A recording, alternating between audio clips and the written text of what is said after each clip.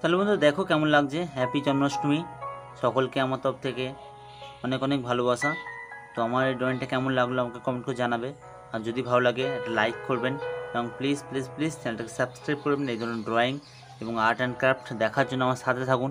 আর দেখতে থাকুন Krishnamondal art channel তাহলে ফ্রেন্ডস খুব ভালো কাটাও, খুব আনন্দে কাটাও, খুব ভালো কাটুক তোমাদের happy Janmashtami. Okay friends tata bye bye